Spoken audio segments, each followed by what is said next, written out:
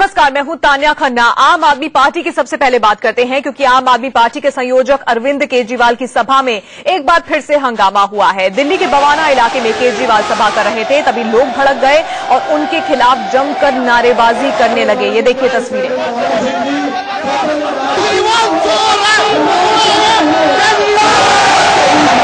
भगोड़ा भगोड़ा के नारे वहाँ पर लग रहे थे। केजरीवाल ने लोगों को समझाने की बहुत कोशिशें की, लेकिन कोई माना नहीं। लोग लगातार केजरीवाल की ओर देखकर भगोड़ा भगोड़ा चिल्ला रहे थे, हंगामा कर रहे थे। पुलिस ने भी रोकने की कोशिश की, लेकिन ये लोग नहीं माने। दो तस्वीरें इस वक्त आपके सामने हैं। केजरीवाल की सभा में, केजरीवाल को तो भगोड़ा भगोड़ा कहा गया। साथ ही प्रधानमंत्री नरेंद्र मोदी के जमकर नारे लगे। नमो नमो भी कह रहे थे लोग। और दूसरी तस्वीर में देखिए, आम आदमी पार्टी की टोपियाँ जलाई गई। केजरीवाल इससे काफ़ी भड़क भी गए।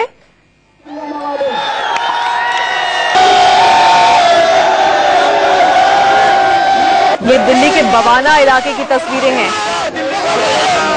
स्क्रीन पर देख रहे हैं कि लोग क्या कुछ कह रहे हैं। केजरीवाल भगोड़ा है और मोदी मोदी के नारे वहाँ पर लग रहे हैं।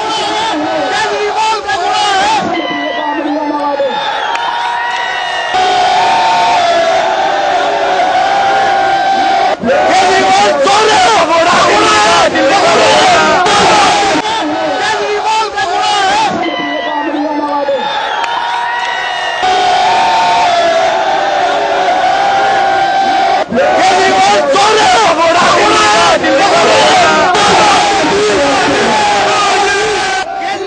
तस्वीरों में आप देख रहे हैं कि केजरीवाल भगोड़ा है, ऐसे नारे वहाँ पर लग रहे हैं। ये खुद केजरीवाल की ही सभा है। बवाना में अरविंद केजरीवाल पहुँचे थे लोगों के बीच और वहाँ पर कैसे हंगामा शुरू हो गया वो इन तस्वीरों में आप देख सकते हैं। केजरीवाल ने लोगों को समझाने की बहुत कोशिशें की, लेकिन ये लोग नहीं माने। मोदी मोदी के नारे लगाते रहे और केजरीवाल भगोड़ा है। ऐसी बातें ये लोग कहते रहे। पुलिस ने भी इन्हें रोकने की कोशिश की, लेकिन ये नहीं माने। और इस पर केजरीवाल काफ़ी भड़क भी गए थे। केजरीवाल ने इस हंगामे को बीजेपी और कांग्रेस की साजिश बता दिया है।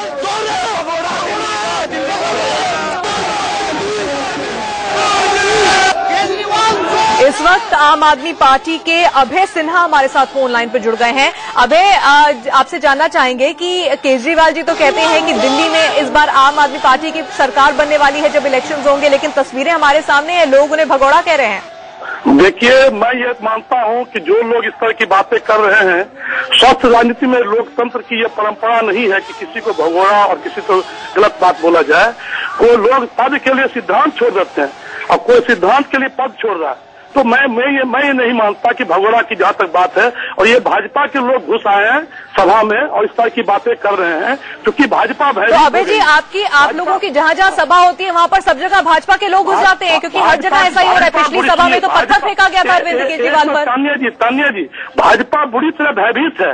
आम आदमी पार्टी की जो जनता में जो पैठ है और आज जनता की पकड़ नब्ज की पकड़ है इस कारण से भाजपा बुरी तरह डर गई है। अभय जी आपकी पार्टी कब समझेगी कि ये दिल्ली की आम आदमी की आवाज़ है। पहुँचा रही है सभा को बाधित करने की कोशिश कर रही है। यह स्वस्थ राजनीतिक लोकतंत्र का तकाजा नहीं है। इस तरह की बातें समाज में राजनीति में नहीं कहीं से जायज़ नहीं है। हमने बहुत आंदोलन देखा है जयप्रकाश आंदोलन में भी लोग विरोध करते थे। लेकिन इस तरह की बातें नहीं होती थी। और जहाँ तक भगोड़ा का सवाल है भगोड़ा क्या है उन्होंने क्या किया है? कोई चीज़ लेके किसी का चला गया कि आपको भाग्य भागने के ये सरकार बनाई और फिर भाग खड़े हुए इसीलिए भगोड़ा कह रहे हैं लोग। कान्या जी, ये भगोड़ा कुछ लोग कहने वाले लोग हैं, दिल्ली की जनता ये भली भांति समझ रही है कि आम आदमी पार्टी ने जो बुनियादी सवाल रखे थे, उनचास दिनों की सरकार में जो अच्छा काम किया था, उसका फल है ऐसी बात नहीं थी धमक सुनाई नहीं देती। और भाजपा बुरी तरह भयभीत है कि दिल्ली का चुनाव एक लोकतंत्र का एक तकाजा है माध्यम है पूरे देश को झकझोरने का। अगर दिल्ली के चुनाव में आम आदमी पार्टी चाहती दिल्ली के चुनाव आम आदमी पार्टी की जो अहमियत बढ़ेगी पूरे देश में इसका मैसेज जाएगा। जी भाजपा के लोग बुरी तरह से अबे जी सवाल तो सुन लीजिए एक सीधा सवाल मैं आपसे पूछना चाहती हूँ। उनचास दिन आपने सरकार चलाई आम आदमी पार्टी ने उसके बाद आपने आप भाग खड़े हुए आपने सरकार इस्तीफा दे दिया आप चाहते थे कि आप सरकार ना चलाएँ। अब दोबारा इलेक्शन हो रहे हैं आप फिर सरकार में आना चाहते हैं आप फिर जीतना चाहते हैं। आप फिर सरकार बनाना चाहते हैं दिल्ली में? दिल्ली वाले कैसे भरोसा करें आप पर? अरुण जेटली जी ने कहा था कि यदि भाजपा आम आदमी पार्टी कितनी सीटें मैं राजनीति संन्यास ले लूँगा। तो कई तरह की बातें होती उन्होंने कहा था कि जन लोकपाल की बात जब नहीं आएगी तो मैं इस्तीफा दे दूँगा। उन्होंने तो स्पष्ट स्वीकार किया था। लेकिन आज वो लोग उसको भगोड़ा और इस तरह की बातें कर रहे हैं जो स्वस्थ लोकतंत्र की बुनियाद में ये बातें नहीं होनी चाहिए। और इस तरह की किसी के सभा में क्या भाजपा की सभा होती है क्या आम आदमी की पार्टी के लोग उसको करते हैं क्या? या वहाँ के कार्यकर्ता पहुँचते हैं क्या? ये तो चूँकि दिल्ली की जनता देख रही है महसूस कर रही है कि आम आदमी पार्टी का गड़ा बड़ा है जिसको विध्वंस और इस तरह की साजिश हो रही है और ये अभय जी आपसे अनुरोध करूँगी हमारे साथ बने रहे क्योंकि सुधांशु मित्तल जी भी हमारे साथ जुड़ गए हैं। सुधांशु जी अभय सिन्हा जो कि आम आदमी पार्टी के नेता है वो आरोप लगा रहे हैं कि उनकी जहाँ जहाँ सभा होती है बीजेपी वाले घुस जाते हैं और नारे लगाने लगते हैं। क्रिश्चियानी बिल्ली खम्बा नोचती है। ये शायद कहावत आपको पता होगी। अच्छा भाजपा वालों को और काम नहीं है क्या? हम अपना प्रचार करेंगे या इनकी तरफ़ देखेंगे? और देखिए जो जरा भगवाड़ा होता है जनता उसको भगवाड़ा कहेगी नहीं कहेगी? जनता भगवाड़ा किस बात की भगवाड़ा भाई? मैं बोल रहा हूँ ना? आपने तहसील नहीं है। आपने आपने कोई तहसील नहीं है। सुनिए सुनिए। आप बहुत ही सभ्य किस्म के इंसान है। जब मैं दीजिए जनता की मूलभूत समस्या जो थी जन लोकपाल का विषय था उन्होंने इस्तीफा दिया है आपको नकारा है आपके इसी आचरण में जनता ने नकारा भाई साहब आज को एक मुख्यमंत्री का पद क्या कर मेरे को बात तो कर स्पष्ट कहा था कि जब यदि जन लोकपाल बिल पास नहीं होगा तो मैं इस्तीफा दे दूँगा। आपने और सभ्यता बिल्कुल नहीं बची क्या? आपने तहजीब तमीज और सभ्यता बिल्कुल नहीं बची क्या? मैं बात कर रहा हूँ, मुझे मेरी बात करनी दीजिए, उसके बाद आपको जो बात करनी रखिएगा ना। मेरा तर्क अगर जनता को पसंद आएगा तो जनता मुझे सुनेगी, आपका तर्क पसंद आएगा तो आपको सुनेगी। लेकिन दूसरे बात को कहने नहीं देना।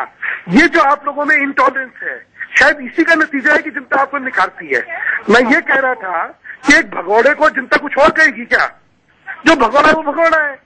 और जनता के साथ फिर आप चालू कर गए फिर आप चालू कर फिर आप चालू गए। जी एक मिनट। अभय जी मैं आपसे एक सवाल पूछना चाहती हूँ कि आप कह रहे हैं कि आपके सभा में बीजेपी वाले घुस जाते हैं वो नारेबाजी करते हैं लेकिन आपके जो पुराने साथी हैं अरविंद केजरीवाल के पुराने साथी हैं वो पार्टी छोड़कर जाते हैं तो वो भी अरविंद केजरीवाल पर तमाम आरोप लगाते हैं कहते हैं कि पार्टी के अंदर ही हमारी बात नहीं सुनी जाती है तो सरकार अगर ये पार्टी बनाएगी तो क्या होगा फिर इस फिर दिल्ली का? तो, तो उन जो लोग आपकी पार्टी के साथ जुड़े हुए थे वो ऐसी बातें करते हैं तो उसके पीछे किसका हाथ है? उसके पीछे किसकी साजिश है? तानिया जी तानिया जी हर लोग की अपनी आकांक्षा होती है। किसी को पद की चाह होती है कोई एमएलए में एमपी में टिकट चाहता है कोई मंत्री पद बनाना चाहता है तो उसकी जब आकांक्षाएँ पूरी नहीं होती तो आम आदमी पार्टी विरोध में बोलने लगता है। ये तो हर हर पार्टी में हो रहा है। इसमें कोई नई बात तो है नहीं। इसमें कोई नई बात नहीं। आम आदमी पार्टी में होना स्वाभाविक है लेकिन लोग उसी पैमाने पर जुड़ भी तो रहे हैं। ऐसी बात तो नहीं है। तो आप कहाँ तक बात करें सुधांशु जी क्या अभय जी और आम आदमी पार्टी और उनके संयोजक अरविंद केजरीवाल को अब ये समझ लेना चाहिए ये किसी की साजिश नहीं है ये दिल्ली वालों की आवाज़ है। नहीं मैं दिल्ली वालों की कोई आवाज़ नहीं है? ये चालू हो? गए अभय जी मेरा सवाल सुधांशु जी से उनको जवाब देने दीजिए। चुनाव बहुत ज़्यादा दूर नहीं है। ये बात चुनाव में आपको पता चल जाएगा कि दिल्ली की जनता किसके साथ है। दिल्ली की दिल्ली की जो बुनियादी समस्याएँ थी इस पर जो आम आदमी पार्टी ने जो काम किया उन सात दिनों सरकार में वो एक एक उसका सबब है। आप इस बात को चलिए सुधांशु जी और अभय जी आपको रोकना चाहूँगे क्योंकि इस वक्त हारून यूसुफ साहब भी हमारे साथ जुड़ गए हैं। हारून जी आम आदमी पार्टी की सभा में क्या हुआ वो हम दिखा रहे हैं। लोग भगोड़ा भगोड़ा कह रहे थे, नरेंद्र मोदी के नारे लगा रहे थे और आम आदमी पार्टी कह रही है, ये बीजेपी की साजिश है। इस पर कांग्रेस क्या कहना चाहती है? देखिए, जो कुछ बवाना में हुआ, मुझे उसका अभी इल्म नहीं है। लेकिन ये पूरी दिल्ली के अंदर आक्रोश जो आम आदमी पार्टी के खिलाफ बढ़ता जा रहा है और भारतीय जनता पार्टी के खिलाफ। क्योंकि जिस तरह के वादे देकर और दिल्ली के लोगों को गुमराह किया और आज विकास ठप हो गया दिल्ली का। वो दिल्ली के लोगों को पता है, ये भ्रष्टाचार के नाम पे जन लोकपाल की बात करने वाले, उनचास दिन में सरकार छोड़ के भागने वाले। आज जन लोकपाल की भी बात नहीं करते और भ्रष्टाचार की भी बात नहीं करते।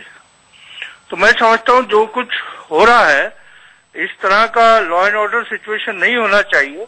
क्योंकि प्रजातंत्र में विरोध दिखाया जाए। हारून जी आम आदमी पार्टी का तो ये कहना है कि सिर्फ़ बीजेपी की नहीं है तो कांग्रेस की भी साजिश है। हमारी सभाओं में बीजेपी और कांग्रेस वाले घुसते हैं और इस तरह की नारेबाजी करते हैं। ऐसा है आम आदमी पार्टी का बस चले तो तमाम डेमोक्रेटिक पार्टीज़ को जो भी नेशनल पार्टीज़ हैं उनको बैन करके खाली हिंदुस्तान में अपना परचम जो है वो टोपी पहन के लहराएँगे।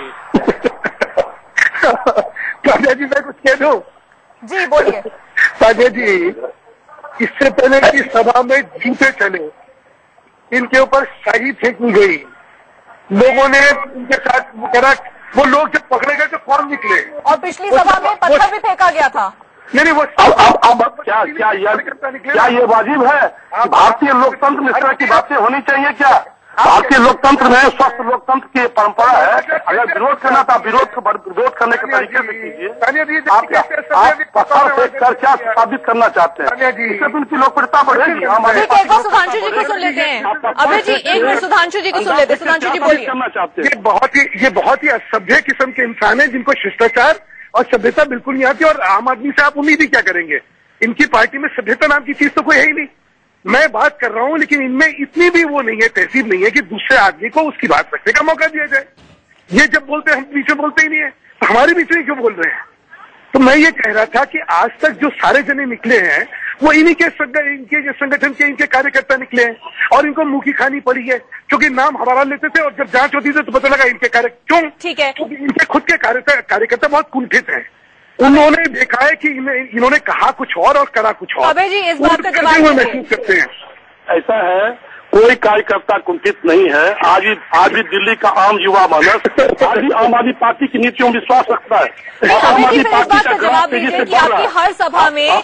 इस तरह की बातें क्यों सामने आती है कि ये तो- नारेबाजी हो तो रही है पत्थर फेंका जा रहा है आपकी पार्टी की टोपियाँ जलाई जा रही हैं। क्या आपकी पार्टी अब भी नहीं समझ पा रही है कि दिल्ली की आम जनता की आवाज़ है? नहीं आम दिल्ली की कोई आम जनता आम जनता आम आदमी पार्टी के साथ है।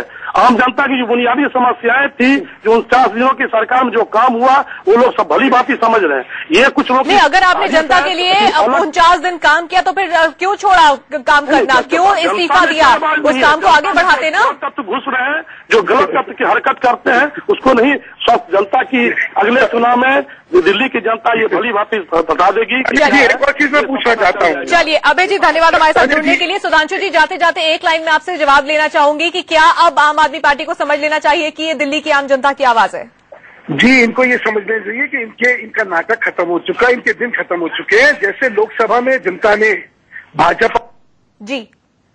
धन्यवाद सुधांशु जी हमसे बातचीत करने के लिए। तो कुल मिलाकर एक बार फिर से केजरीवाल की सभा में जमकर हंगामा हुआ है। केजरीवाल को भगोड़ा भगोड़ा कहा गया है। सभा में नारे लगे हैं और उसके अलावा नरेंद्र मोदी के भी नारे वहाँ पर लगाए गए हैं। मोदी मोदी के नारे लगे हैं और केजरीवाल भगोड़ा है। ये वहाँ की जनता कह रही थी। इसके अलावा आम आदमी पार्टी की टोपियाँ भी जलाई गई हैं। उसकी तस्वीरें भी हमने आपको दिखाई। एक छोटे से ब्रेक के लिए हम यहाँ पर रुक रहे होंगे फ़ौरन हाजिर।